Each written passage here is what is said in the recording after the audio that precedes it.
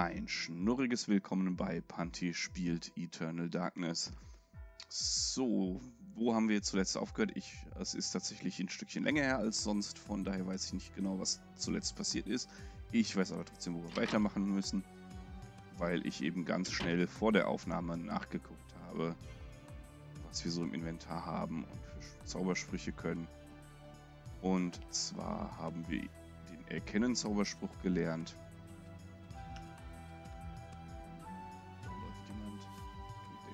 Nicht uns angreifen zu wollen. Sehr schön. Wir haben den Erkennen-Zauberspruch gelernt und wir sehen ja hier auf diesem Bild, zur Erinnerung für euch, das ist ein Foto von der äh, Tür und hier ist nur ein Symbol. Und hier ist auch conveniently eine, ähm, ein, kleines Gemälde, was uns zeigt, welches Stere, Stere Schein, ja natürlich, Schere, Stein, Papier Prinzip bei den drei äh, Ältesten gilt. Unser Gegner ist grün, was an der Wand auch zu sehen ist. Das bedeutet, die Zauber von Rot, also von Chaturga, sind am stärksten. Das habe ich bestimmt letzte Folge auch schon erklärt. Aber im Endeffekt nutzen wir den neuen Zauber, den wir gelernt haben, erkennen. Genau hier mit roter Ausrichtung. Und jetzt will ich das bestimmt machen und wir haben Chaturga und doch, da haben wir ihn. Super. Also ich nutze Erkennen in der Ausrichtung Chaturga und dann sollte die querschneiden.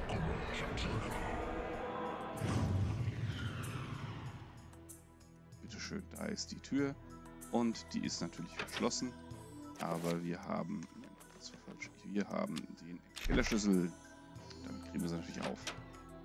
Dann gucken wir mal, was uns in dem Keller des Räubers Anwesens erwartet. Abgesehen davon, wenn ihr noch nichts zu trinken habt, ich höre da schon Gegner, und da tapselt auch die Treppe hoch. Okay, erstmal den Gegner, das ist wichtig, ansonsten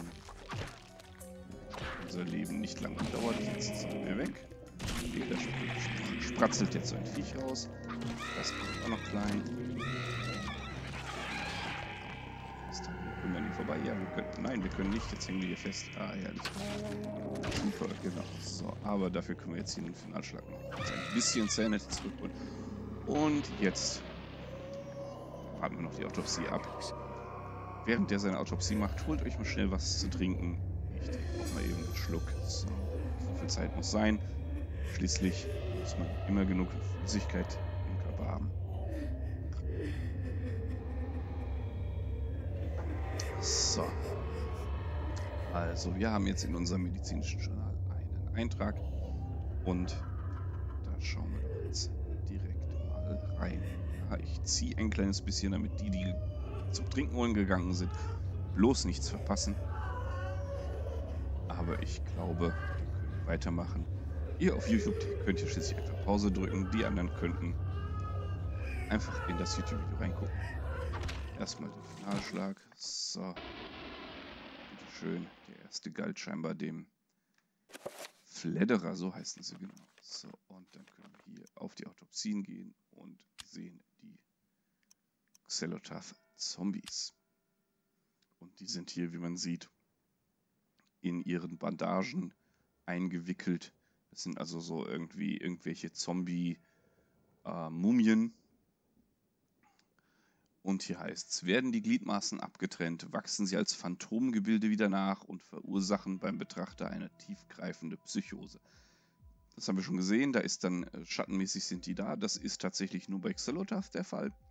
Bei den anderen beiden ist das nicht so. Die Leinenbinden der Mumie sind leicht entflammbar, sprich die grünen Zombies kann man in, kann man in Brand setzen, die anderen nicht. Seht ihr mal, ich habe mich immer gewundert, warum das irgendwie ging bei manch, manchmal bei den großen, in großen Zombies. Ich nenne die immer die großen, die kleinen sind diese schwarzen. Und bei den schwarzen immer immer geht. Das liegt einfach daran, bei den grünen mit den Bandagen geht das. Ja, mit dem Xelotath-Zombie einmal analysiert. Jetzt sind wir also hier im Keller paar Fässer. Ich habe gerade zuletzt in Minecraft ein schönes. Äh, das jetzt erstmal alles. Ich gucke guck mich erstmal nur um, was hier so ist und dann gucken wir uns alles mit an. Da ist ein. Ist das ein Wandgemälde oder was? Okay. Ähm, in Minecraft gerade ein, ein, ein, schönes äh, Haus für einen Mod gebaut. Ein, ein Warenhaus in Form von einem, äh, von einem Marktplatz äh, höchsten Ausbaustufe dann mit vier großen Geschäftsgebäuden. Und da habe ich auch solche Fässer hingestellt, ähm, verschiedenen Arten. Aber jetzt wollen wir doch mal hier das Zeug holen. Und zwar gibt es hier einen Zauberspruch. Einen interessanten Symbol, einen Kreis mit äh, drei Blitzen oder so, die auf die Mitte gehen. Und das ist der Spruch Isolierung. Gucken wir uns den nochmal direkt an. Liste der Sprüche Isolierung. Diese Beschwörung gebraucht die Kraft gebraucht eine Kraft von mystischer Stärke innerhalb der Grenzen dieser Runen. Nichts kann von außen eindringen, bis die Magie aufgehoben wird. Dieser Spruch benötigt die Runen Bankorok und Red Gormor. Ich habe das Gefühl, ich habe einen alten Spielstand, einen zu alten Spielstand geladen. Ich gucke gerade eben nochmal. Nein, Kareem ist tatsächlich, dann war das ein anderes Spiel, was ich gespielt habe. Ich habe ja genau das schon gespielt mit, äh, mit Bekannten an einem Wochenende, so weit wie ich kam. Ähm, und dann gesagt, ich fange mal auf, mit, den, mit, der deutschen Version von vorne an. Und habe ich jetzt gerade daran erinnert. Okay, kein Problem. Ich bin ein wenig verwirrt. Wir haben hier die Bankorok, die Protectone, ein Kriegel mit einem, im Endeffekt das, das weibliche Symbol ohne die letzte Linie unten sozusagen ist das Protect-Symbol. In dieser magischen Sprache, die die Entwickler sich hier ausgedacht haben. So, haben wir hier noch irgendwas? Da war nichts mit untersuchen. Dann war nur noch hier. Da ist, das ist nämlich die Pumpe. Leider können wir uns das. Ich will gucken, ich will gucken ob wir uns das Becken. Nee, das ist einfach nur ein Becken mit Flüssigkeit. Das können wir uns nicht näher angucken. Ah, da hat Pius mit uns geredet. Ja, unsere Sanity ist nicht sonderlich hoch. Egal, vor dem Brunnen steht eine rostige Pumpe, der Pumpenschwengel fehlt. Ja, wir haben hier einen ziemlich großen Schwengel im Inventar. Nein, nicht das Storm of Eternal Darkness, sondern den Schwengel hier. Den benutzen wir mit der Pumpe und damit kriegen wir das Wasser aus dem Brunnen gepumpt. Interessanterweise nicht in den Eimer, der davor steht, der ja dann überlaufen müsste. Das ist eine ziemlich starke Pumpe das interessiert, äh, ja, so schnell wie das alles hier runtergepumpt hat. So, das interessiert uns aber alles jetzt nicht. Wir speichern eben nochmal, wenn das geht. Ja, ich überspeichern, das ist kein Problem. So schlecht sieht es unsere Health nicht aus. Und gehen mal runter. Und jetzt sind wir irgendwie in einem winzig kleinen Raum, sind wir fast tot. Wenn wir volle Health haben. Und kriegen die Tür nicht auf. Ja, wie gesagt, unsere mentale Kapazität ist nicht mehr sonderlich toll. So, das ist natürlich das Problem. So ein Skelett haben wir eigentlich irgendeine Fackel oder so? Ich glaube nicht, ne? Nee. Der noch nach seiner Kopf tastet, schlagen wir ihm die Gliedmaßen ab, zumindest die Arme, und kriegen die Protect-Rune, mit der wir den Spruch Isolierung entdecken. Sehr schön.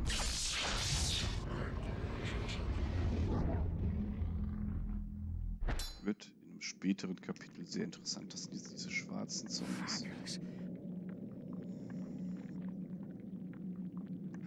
Aber in den Temperaturen sollte man viel trinken, oft trinken. Daher immer was dabei stehen am Wetter.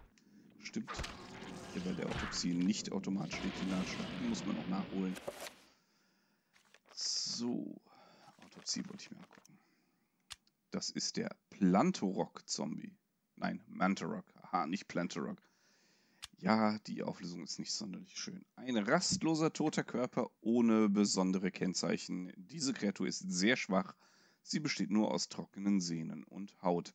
Also die schwarzen Zombies sind in Wirklichkeit die von Mentorok, was natürlich interessant ist, weil gefühlt sind die Zauber, die, die ich mit Mentorok spreche, üblicherweise die, naja, nützlichsten eigentlich. Vielleicht nicht unbedingt die stärksten, aber eben vor allem, wir haben jetzt auch den Heilzauber. Äh, dadurch, dass wir Chaturga haben. Ich nutze den direkt auch mal, indem ich ihn hier zuweise. Und zwar möchte ich nach möchte ich zuweisen, das, das, Überlegung, das war dann hier. Erholung zuordnen, 3 Punkt, Ausrichtung rot, auf nach oben und wenn ich jetzt nach oben drücke, spreche ich den Zauber, der unsere Lebensenergie heilt. Das ist ja viel interessanter als die grüne Energie, ehrlich gesagt. Das, das ich heile die trotzdem mal, indem ich jetzt hergehe und das nochmal zuordne auf nach unten in grün, in Blau bringt es uns ja nichts. So, das ist schon so 50 Prozent. Ist klingt doch nach klingt doch schon mal nach einem Plan. So, speichern. Lieber einmal zu oft als einmal zu wenig. Kennt man ja. So. Was haben wir hier? Wir haben hier auf jeden Fall eine Bodenplatte, auf der das Symbol von Mentorok, wenn ich mich nicht irre, drauf ist.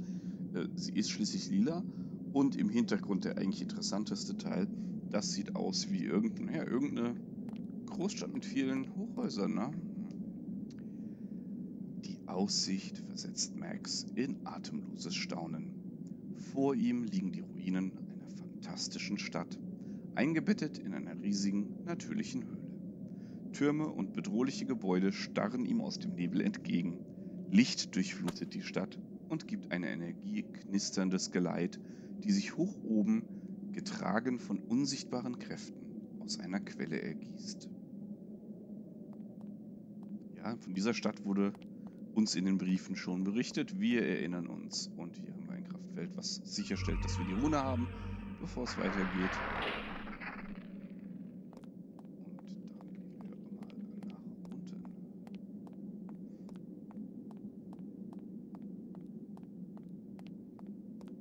Ich gehe davon aus, nein, ich weiß ja schon, was passiert, aber jetzt könnte man natürlich davon ausgehen, dass es jetzt hier weitergeht und man auf einmal so Open-World-mäßig durch die Stadt laufen kann. Das wäre eigentlich ziemlich cool gewesen für das Spiel. Aber nein, stattdessen kommt, äh, ja, kein sonderlich schönes Spiel. Und das nutzt auch noch einen 1, 2, 5, 6, 7 war das, nicht wahr? Einen 7er Zirkel. Wir haben nur einen schäbigen 3er Zirkel. Das ist magisch sehr begabt und teleportiert sich durch die Gegend. Auch nicht toll. Das da hinten ist übrigens dieser Schutzzauber, den wir gerade gelernt haben. Das ist unterbrechen. Das hat mich glücklicherweise nicht getroffen. Bis der Watt, Leute. Wir haben die Knarren die ganze Zeit aufgehoben. Jetzt können wir sie mal nutzen. Jetzt will der jemanden. Oh, das war sehr ungünstig. Jetzt will der. Er will nicht nur, er es gerade geschafft. Äh, ja, ein Viech beschwören. Das war 5, das heißt ein Zombie. Tier-Attack ist nämlich Beschwören eines Zombies. Gleichzeitig geht er hin. Dieses Ding müssen wir jetzt erstmal besiegen. Das ist natürlich ein allzu großes Problem, aber er hat uns natürlich jetzt. Bankorok ist zumindest nicht Tier-Attack, der macht seinen Angriff.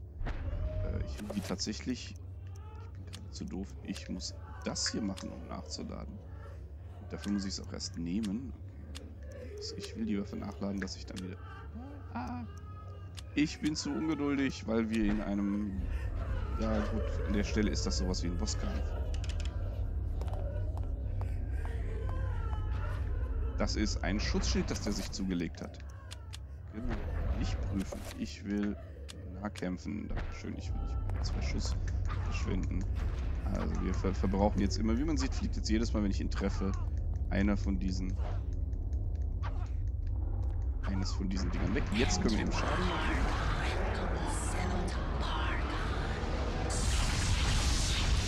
Das war mein, aber Solange diese Dinger nicht um ihn rumfliegen, können wir problemlos drauf umhauen. Sobald der mal auf die Idee gekommen ist, hallo Kamera, ich kann die Kamera nicht steuern diese Ansicht, weil entweder wegen meiner Sanity oder weil er müssen warten, bis er sich wieder manifestiert. Das hat er soeben getan. Da wir da hinten nicht hingucken können, machen wir einfach so.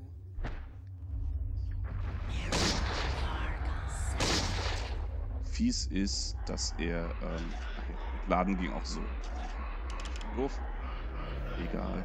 Solange er sich da so bewegt und so, ist das alles nicht das Problem. Manifestier dich irgendwo. Wirklich so, dass ich dich nicht sehen kann.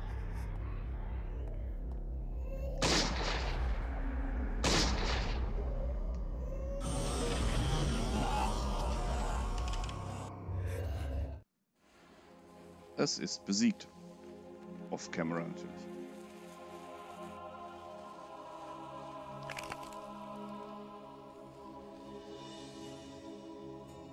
accursed beast was dead, but not without its toll on me.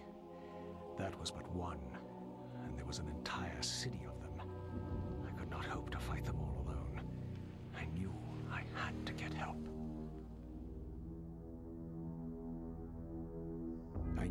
Was a way. I just had to find it.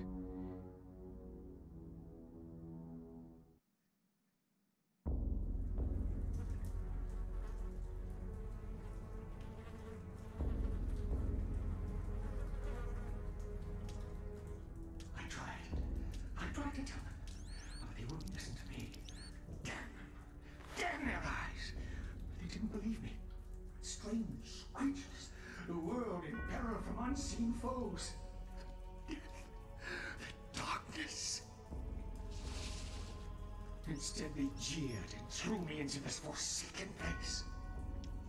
A place of empty souls and fevered thoughts, reeking of fetor and decay, thinking me mad with delirium. the fools cast away their hopes of salvation, but locking me in this damned asylum. May the rats eat your eyes! Lost to your cause! The darkness comes! It will damn us all!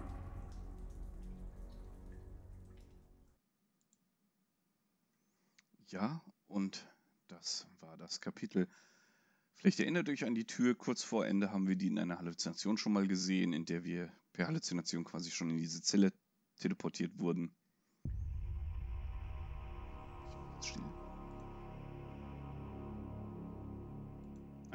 Dachte, das würde eine Zwischensequenz werden. Ja. Und noch eine zweite Sache, die ich eben eigentlich sagen wollte, bevor ich unterbrochen wurde. Und jetzt habe ich es schon wieder halb vergessen. Ach ja, ähm, genau. Es ist ziemlich logisch, was passiert ist. Ne? Ich meine, er geht raus aus dieser Stadt, will Hilfe holen. Und ich meine, wer glaubt ihm, dass da so eine Stadt ist? Und ich meine, es ist ganz logisch, dass er dann äh, in die Irrenanstalt kommt. Und zu der Zeit war die Irrenanstalt halt primär eine Folter- und Verwahranstalt. Ja, die dunkle Vergangenheit der Menschheit wird hier halt auch ein wenig gezeigt. Wir speichern noch einmal. Und zwar speichern wir direkt am Anfang. Wir sind nämlich wieder hier. So, da sieht man, wir haben gerade diesen Abschnitt fertig geschafft. So, was haben wir Neues? Wir haben Neues gelernt. Erkennen und Isolierung. Haben wir neue Items? Nein. Aber wir können gucken, ob es irgendwo eine Stelle gibt, wo wir den Erkennen-Zauber verwenden. Das könnte uns ja schon mal helfen. Also wieder einmal das Haus durchsuchen. Ein bisschen schneller.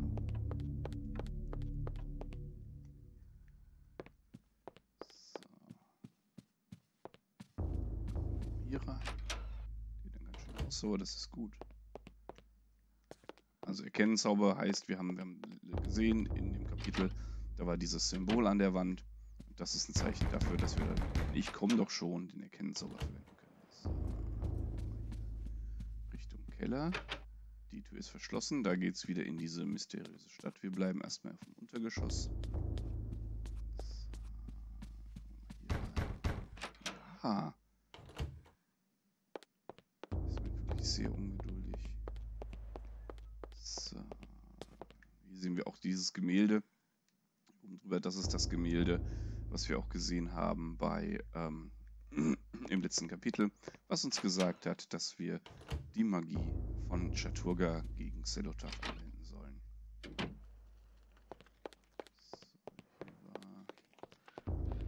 das an der Wand. Jetzt verlässt uns langsam ein bisschen die und wir hören komische Geräusche. Dann flüchten wir gleich mal ängstlich nach oben.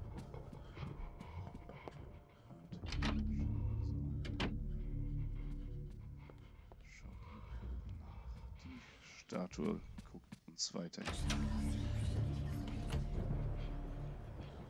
So, hier lang.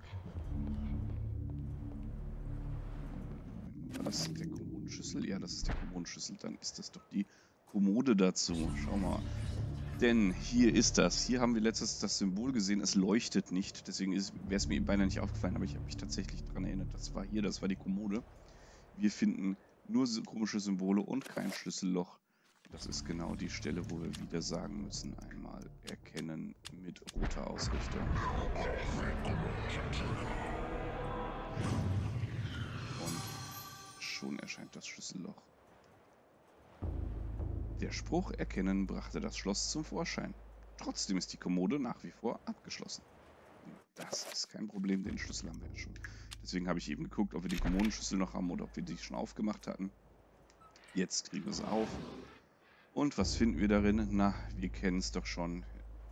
Bei Alex Drivers finden wir sehr, sehr schnell das nächste Kapitel. Und einen Revolver. Für den haben wir auch schon reichlich Munition gefunden, wenn ich mich nicht irre.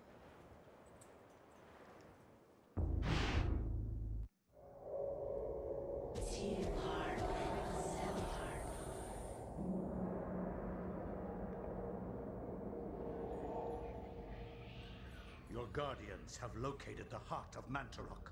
Yes, located within its grave, as we suspected. It shall be retrieved at once. Be wary. The power of Mantarok lingers still, corroding the universe around its tomb. It will doubtlessly be guarded after these seven centuries. The beast has not been contained. I can assure you that my binding of Mantarok fueled by your very own power, will be enough. It is not your sorcery that we doubt, Augustus, but the power of the dead god. How can you, a mere mortal, comprehend what that entity represents, or what power it can wield? We know not. And we know more than thou. Your future depends on me, Majesty. Without me to open the gates... Yes, Yes, be quick, lest our power and our faith in you wanes to oblivion. It will never happen. I have seen differently.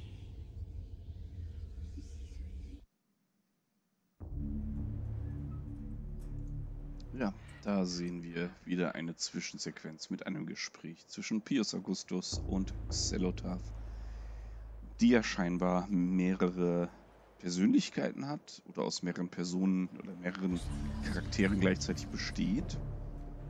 Ähm, die, zumindest diese, diese leisere, flüsterndere Stimme scheint der anderen immer zu widersprechen. Nun gut, es ist halt auch der Gott, die Göttin des Wahnsinns sozusagen. Nun ja, dann würde ich sagen, wir begeben uns wieder in unseren sicheren Hafen, unseren Raum, in dem wir dann das Kapitel lesen können, auf in die Bibliothek. So. Und in den Geheimraum. Ich muss übrigens an der Stelle immer das, äh, das Steuerkreuz, während er lädt, von nach unten, äh, was ja auf dem Bildschirm zu bedeutet, auf nach oben wechseln. Ansonsten würde sie gleich wieder zurückrennen. So, dann setzen wir uns mal hin. So. Und ich würde sagen, auch wenn wir erst bei knapp 25 Minuten sind in der Aufnahme, sehen wir uns nächste Woche, wenn wir dann das Kapitel lesen. Einfach, weil es sehr super passt, die Folge dann mit dem Intro des Kapitels anzufangen. Also, bis nächste Woche. Ciao, miau.